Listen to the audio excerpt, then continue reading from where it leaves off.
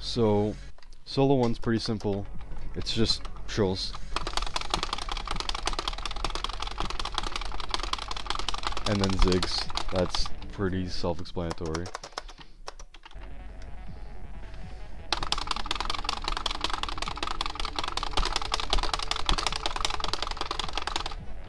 Just think of it as two triplets and then some trills.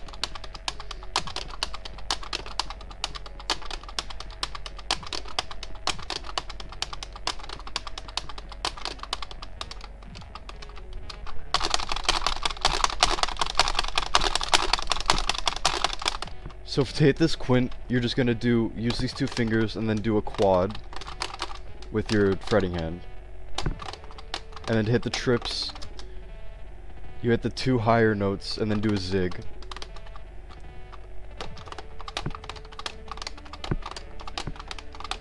So for this quint part, what you want to do is hit the zig with your tapping hand and then hit that last triplet with your fretting hand.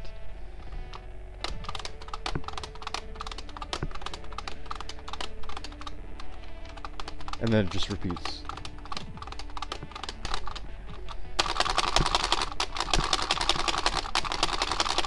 You want to make sure you like wait a little bit when you do the quint zig.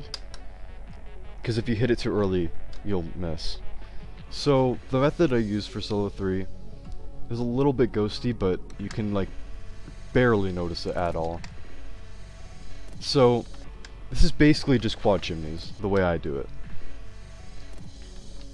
So with your fretting hand, you're gonna do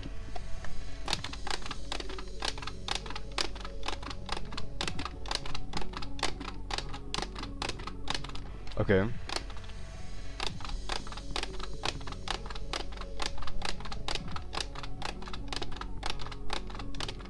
And then with your tapping hand, you're gonna go red, yellow, orange, red, yellow, orange, red, yellow, orange, red, yellow, orange. And then you combine them. It might look a little bit ghosty on this speed. But you see if I speed it up, can barely tell.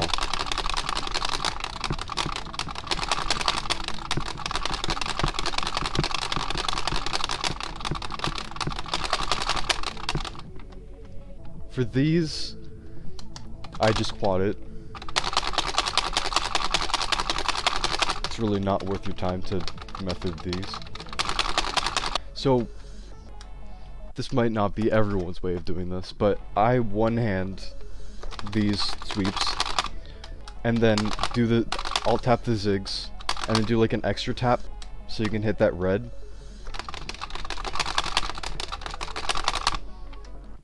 For this, I fret the first two quads, and then tap the higher quad, just like that.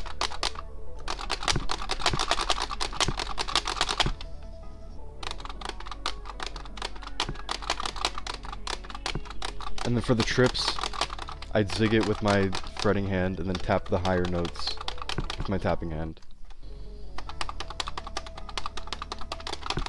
This is pretty simple.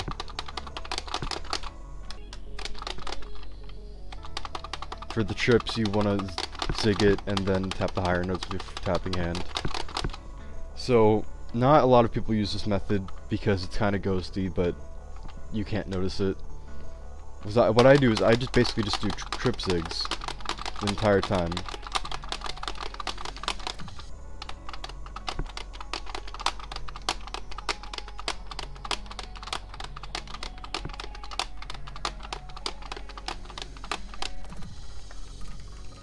On full speed, it doesn't even look like a ghost thing, like, at all. Or barely. So for this, you just want to alt tap this like trills. One hand these sweeps. I'll tap these trills. I'll tap this. And that's pretty self-explanatory.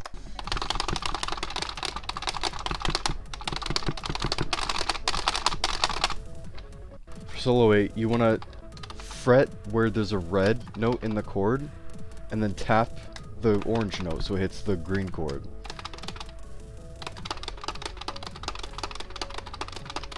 And then you want to keep anchoring green and hit that last note, hit that last chord.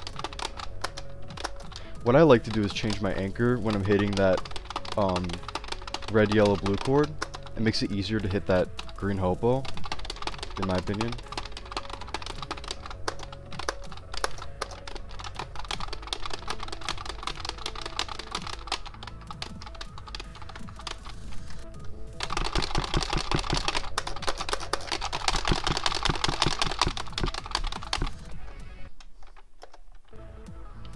So for solo 9, this whole section before like the quad part is basically just a bunch of chimneys. You just want to hit all the the whole red wall by chimneying with your fretting hand. You want to double one hand and then do two quad chimneys.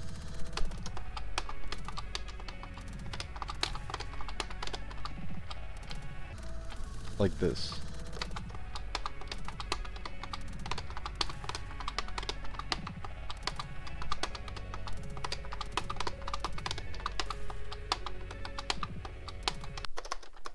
So the part after the red wall part, these are just chimneys and trills.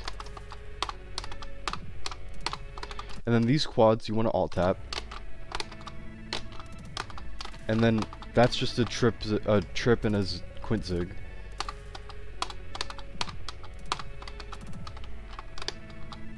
Trip quintzig, trip quintzig. So instead of thinking that as like one entire quint, I think of it as two trips. So you have like the correct fretting on the next cycle.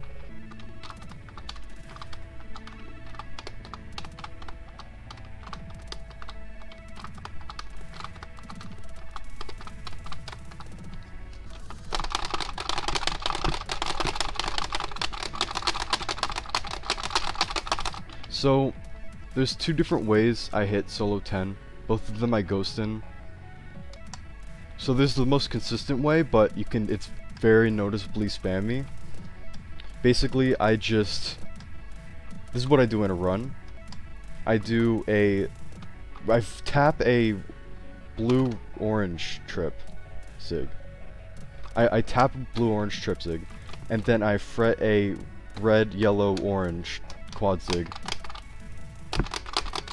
for the orange wall part. And then for this, I basically do the same thing with my fretting hand, but I change my tapping hand to be a red-blue zig instead of a blue-orange zig.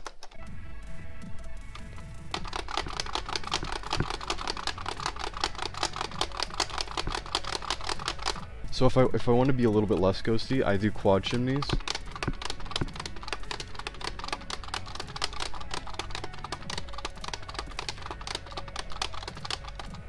Just see what my fretting hand is doing.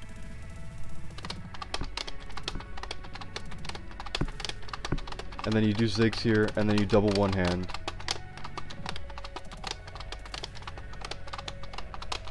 This may not be the way everyone does it, but is just the way I do it. I find it the easiest. Here's the first method.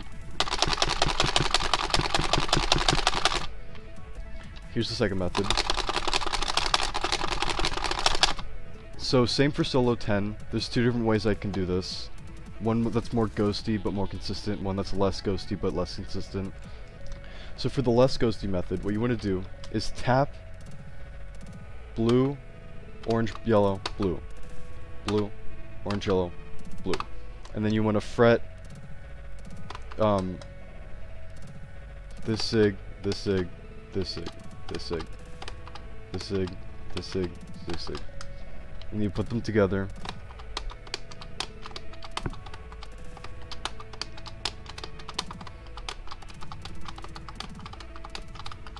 And then the more ghosty method that I use for runs is I do the same thing for the fretting hand, but for the tapping hand, I just do quad zigs.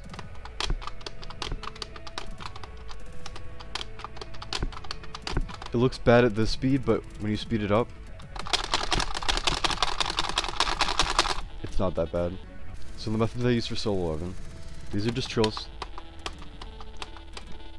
You want to start with your fretting hand since the the like pattern before it is like inverted. So I just do quad zigs with my fretting hand like that.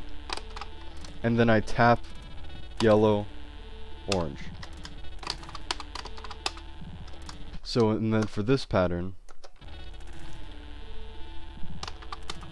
it's just chimneys. So you want to zig, blue, zig,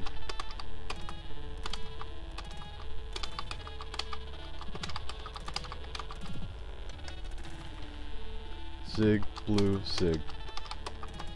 And then you put it together.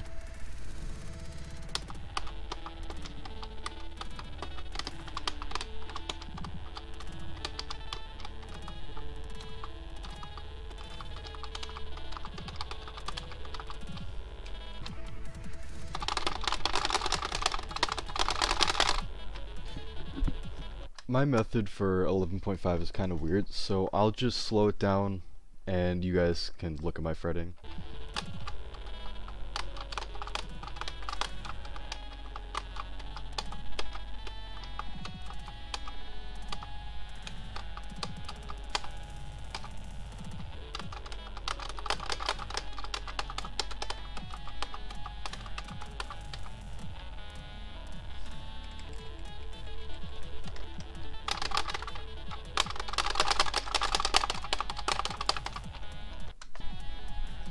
These are just trills. But for here, so if you have the speed for it, you can do quad chimneys. So you tap orange the whole time. But you do... You go like this.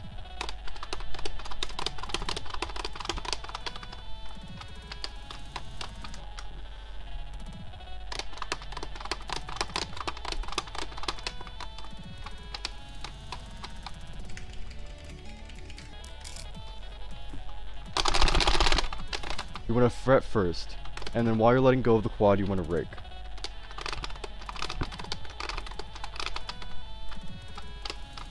Like that. I do a quint, two trip zigs. And then there I do a quint and a quad. Double one-handed quad and then alt tap the trills.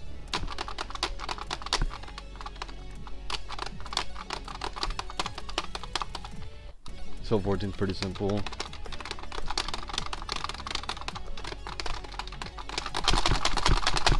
The method I use for solo 15, these are just trills. I tap both of these quads after the trill, like orange, blue zig, and then red, yellow zig, like that. Makes it easier so you can just stay at the same speed. And then for the orange wall, I do two quad chimneys. Like that. So you just...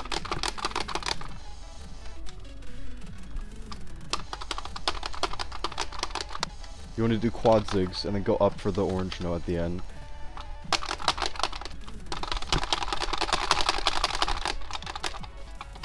This section is basically just a bunch of trips. So, trip, trip, trip, trip, trip, trip, trip, trip, trip, trip. Tap that as a trill, trap that as a quad, and then just one hand the rest. This just comes down to muscle memory.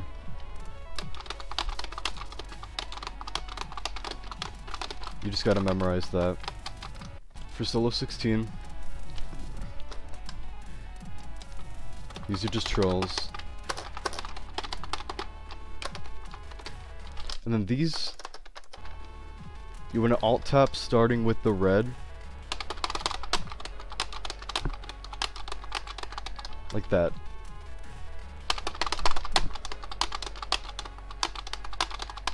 Super Snake is just zigs. Solo 17 are just trills. You have to slow it down, memorize it. It's starter it's it's easier if you start on your fretting hand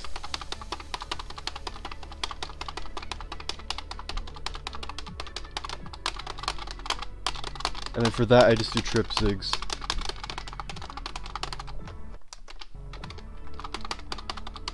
What I do is one hand that, and then alt tap these trills.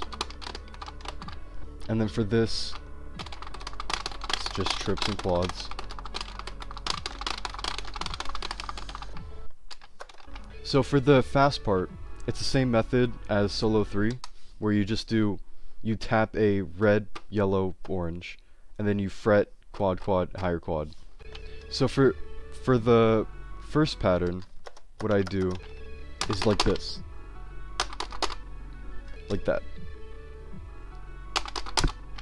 For the second pattern, what I do, it's the same thing, except you want to do an extra zig at the end.